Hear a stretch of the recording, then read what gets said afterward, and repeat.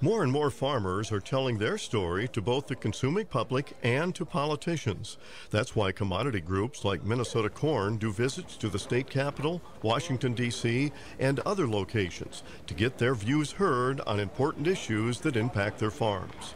Adam Birr is the executive director of Minnesota Corn. It's tough when you're you're trying to do your job on the farm and do your part, uh, but uh, we need those folks to reach out. One thing we heard uh, last year when the the uh, budget was going through Congress and crop insurance was sort of under attack, and we found this out in the, the 11th hour, and we did a call to action. We heard from legislators last week that they got an overwhelming response from growers, and they that's what made the difference. It's what saved crop insurance from being uh, significantly harmed uh, during those budget discussions.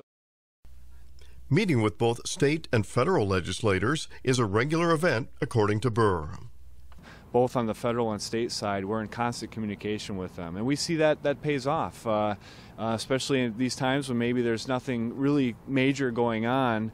Uh, you build those relationships so that when the crisis does hit, uh, we're one call away, and they know who to turn to, and you build on you know those relationships you've spent uh, time, the quiet times, uh, fostering, I guess. Keeping up with the latest legislative issues is important for farmers across the state. It wasn't that many years ago that the only thing that a corn farmer had to worry about was planting the corn and harvesting the corn and taking care of things in between.